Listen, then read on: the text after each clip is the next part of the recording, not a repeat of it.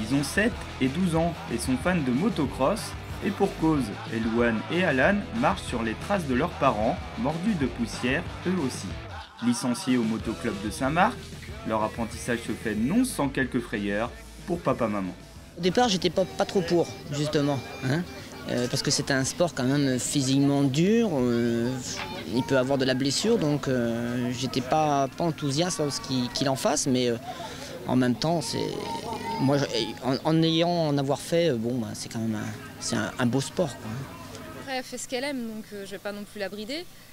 Et puis, bah, c'est vrai que je suis plus à dire ralenti. Le papa accélère, donc euh, elle est prise entre deux feux, donc elle fait ce qu'elle veut. Elouane pilote une 50. Alan, lui, est déjà sur une 85 cm3. Tous les deux travaillent leur technique.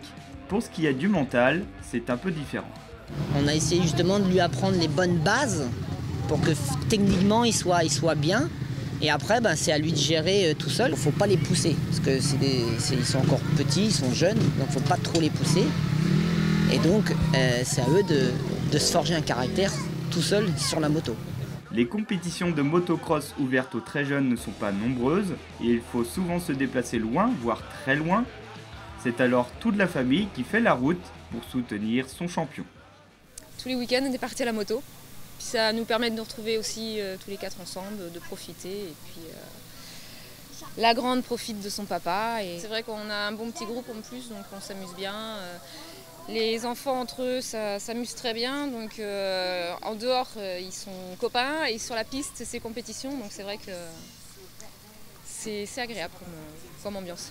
Sur ce rendez-vous à Mont, Elouane va terminer 8ème. Alan, lui, s'impose dans sa catégorie, mais tous les deux voient déjà plus loin. C'est de. Bah. C'est d'être première. d'être champion de France, peut-être un jour. Ça va être dur- parce que le niveau est assez élevé et ça va être dur. D'ici à ce que leurs rêves se réalisent, nul doute qu'Alan et Elouane auront mangé beaucoup de poussière sous les yeux attentifs de leurs parents.